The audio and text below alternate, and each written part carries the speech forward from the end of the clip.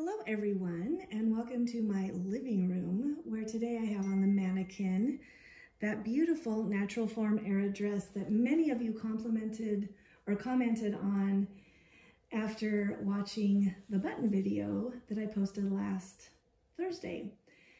I usually have a hard time deciding what to do videos or posts on um, with the museum artifacts because I don't know what you all would like to see. I don't know what you're interested in. But with the interest that was shown in this dress, I thought, oh, this is going to be easy. This is an easy decision. So yeah, we're going to talk about this beautiful natural form era Polonaise style dress today. Um, thank you to my sweet friend Brendan Miranda. I think two years ago, one and a half years ago, I don't know, some years ago, we made a trade, and this was in a lot of several other dresses that he traded me for something, and I don't remember what it was. I think it was feathers. anyway, I think I got the better deal, Brendan. You're not getting her back. Sorry. um, I have a few wounded birds because I I can't just give away or, or pass over a wounded bird from long ago because a lot of the times the insides or the construction of them is so fascinating and so important to look at, especially if you are going to be making a reproduction or a dress for a costuming society or whatever. But this dress in front of you is not a wounded bird. She is in magnificent shape.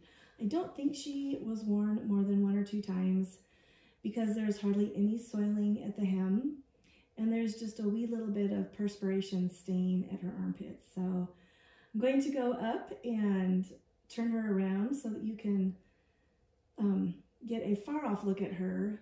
And then I'm going to do some close-up videoing here after I'm done with that. So let's see, I want to get her a little bit better situated. There we go.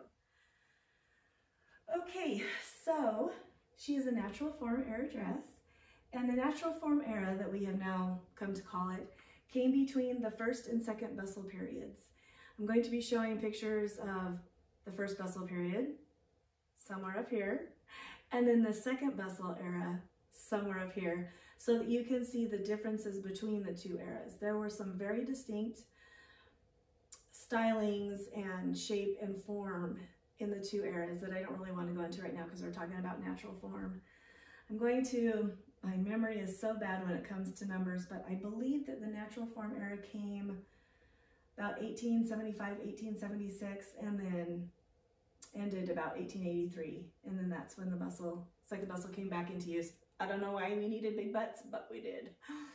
So natural form era, kind of how it sounds, was had something to do with the natural form of the woman's body. In other words, in the previous fashion eras, like the hoop skirt era, you had the hoops, the big cage crinolines that were under them. And then that first bustle, you had still a little bit of a hoop, but then you had the bustle in the back. And then the second bustle era, you had another bustle in the back. I believe sometimes, and I, have done some research, I'm going to try and find that and share it with you. Sometimes there was a little tiny crinoline under the skirt to help hold it out. I don't know why, because they had petticoats. Maybe they didn't want petticoats around their ankles. I don't know.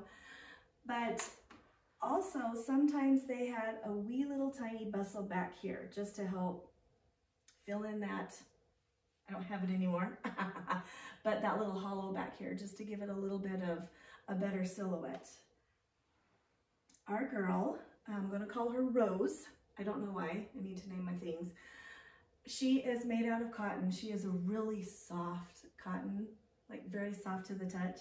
And the print on the fabric is, when I first saw it, when Brendan sent me pictures of it, I thought they were apple blossoms, but they're not, they're roses, like a wild rose. So I'll show a close-up of that.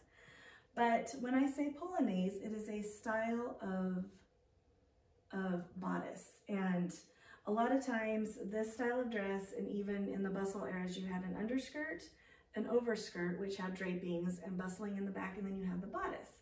Well, on this dress, and what I will do is, after I'm done with this, I'll take um, her top off so that you can see the just the skirt, and then I'll put the top back on without the skirt so you can see what I'm talking about.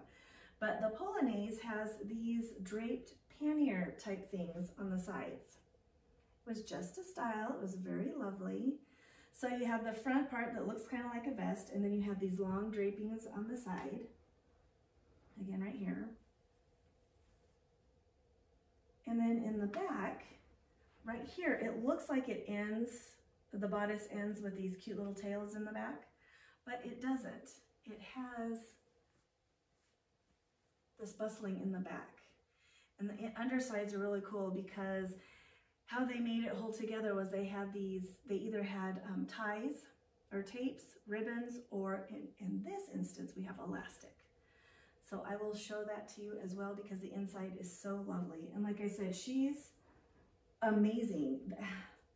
The condition that she is in, like I said, I don't, you can see I'm five six, five five and three quarters, but I'm lazy. I'm five six. And, oh, hello, sorry, darling. Sorry, Rose, there we go. So you can see how petite she was.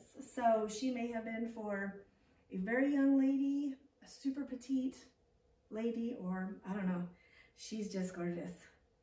All right, I'll be back to show you the separate pieces.